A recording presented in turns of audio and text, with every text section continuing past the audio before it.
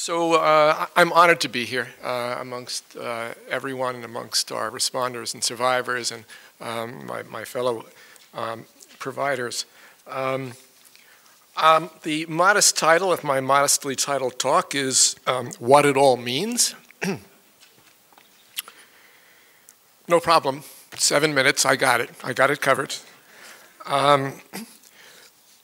But I think you've had hints about what it all means already, right? And the first hint, uh, if you can think back that far, is what Dr. Denise Harrison said. Now, where's Denise? Where did she? She's way in the back, okay? If you have trouble remembering what she said, just turn around and look at her. It's okay. It'll come back because she was fantastic. She's so eloquent.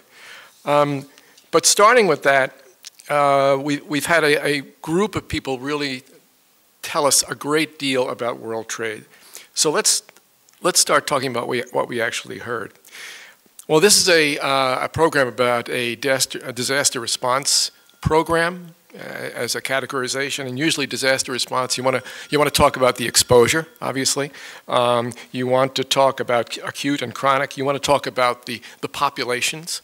Uh, populations exposed. Uh, you want, particularly want to deal with the vulnerable populations um, to that exposure. You want, certainly want to talk about diseases uh, with an emphasis on mental health in disasters. Um, and um, you want to also cover a myriad of other topics uh, that will kind of fall out of trying to deal with those three. So today we had um, wonderful talks about exposure by Dr. Lucchini, talking about the risk of cancer. Um, uh, Leo Trasande, who I think is just a marvel, um, kind of leading that charge about a really forgotten part of our population, the children, who are extremely vulnerable to this type of exposure, uh, and his, his beautiful work, painstaking, detailed, beautiful work uh, to show the risks that the kids are having uh, to just one of the chemicals that goes down there. So, Leo, my hat is always off to you. Uh, it just continue the great work, just, just fabulous. And then our, our, our, Dr. Webber, who works so hard. Um, with the fire department uh, doing a beautiful study. Um, you know, you, you realize that studies are kind of like baseball pitches, you know, they're, they, you, some are fastballs and some are sliders, some go right in the dirt. Um, this is a beautiful curveball that Mayris is throwing, just a beautiful, gorgeous curveball that's going to drop in the strike zone about 15 years from now when the results come through and show that the difference between these two uh, populations of firefighters in terms of outcome is the World Trade Center exposure. It's beautifully designed, it's well thought out. Thank you so much, uh, Mayris. Um, we've had our doctors talking about illness, uh, Dr. Reibman, um, my colleague, Dr. Laura Crowley, um, uh, Dr. Clouston and Dr. Brackbill, really describing the population, both uh, in, in the CCEs and in the registry, uh, and talking about the illnesses. Um, we've had um, uh, people who have been doing uh, population, um, I mean, hypothesis generating uh, studies, like uh, I think Dave Prezant's study about rheumatoid uh, disease and autoimmune diseases, to generate new thinking about the illnesses that may be coming. Uh, and Dr. Reibman, of course, about the, the airway disease.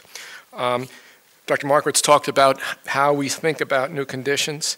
And uh, both Dr. Federer and Dr. Ferry, just with us now, talked about really exciting new approaches to a terrible illness, PTSD, uh, where people can actually start doing this and hopefully get relief of symptoms. I think this is fantastic work, and I'm, I'm very, very excited about, about uh, participating uh, with both of you in the studies. Um, so uh, we, we um, we heard a lot of great stuff, right? So, is that what it all means? Uh, you kind of stop there and you say, maybe, maybe there's a little something more. So, what I think it all means becomes clearer if you turn the title of today's program on its head. Uh, as somebody once said to me, if you really want to see the world, stand on your head.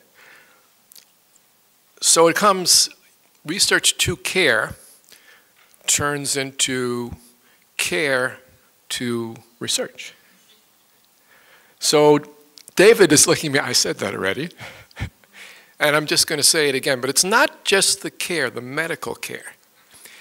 What it is, I think, what it all means is the inspiration that responders and survivors gave to all of us, their courage, their unselfishness, their willingness to sacrifice themselves and share with the community, and to be the people who still say to me day after day, oh, doc, I know you got treatments, but really, save it for the guy who really needs it. Save it for the person who really needs it, doc. That, that doesn't happen in a lot of places. It's the unselfishness of you, our populations. And quite frankly, that has inspired us. It has inspired us repeatedly. It has inspired us every single day. It has inspired us this morning. Your care that inspires our research, which then helps our treatment. So, what it all means, it means inspiration.